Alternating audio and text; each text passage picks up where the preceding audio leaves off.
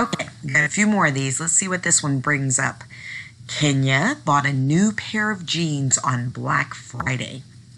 They originally cost $45, but the store was having a 25% off sale. How much did she pay for the jeans? So, first of all, let's look at our little worksheet here. We're going to draw this when we start to solve it. I see a percent sign right there. So I know I'm going down here to yes. I do not see the words percent increase, percent decrease, or percent change. So that's not it.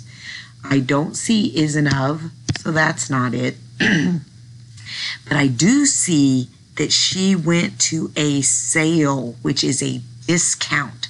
So this is definitely what we're going to be using. So that's what we're going to be using when we go to the next page and solve this. So first things first, do that. I know I need my 100 here because I saw the word percent. And I've always said, if you see a number right in front of the symbol, it has to go right above the 100. Original price is 45 and that's what goes right there on the bottom. And how much she got as a discount is what we're trying to figure out. But we want to know what she paid for the jeans. So we're going to have to take the $45 that they cost. And we're going to have to subtract whatever that discount is to find the final price. So first we're going to cross multiply.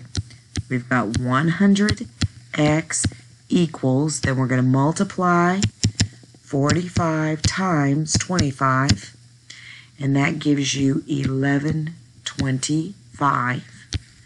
Then to get that x alone, we have to divide by 100 on each side.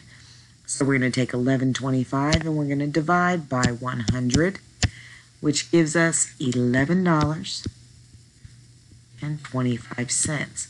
This is your discount or how much you're getting off of those jeans because they're on sale. So we're going to take 45 and we're going to subtract 11.25. So 45 minus 11.25 is $33.75. That's how much she paid for the jeans because they were on sale for 25% off. The discount she got for the sale was $11.25, $11.25.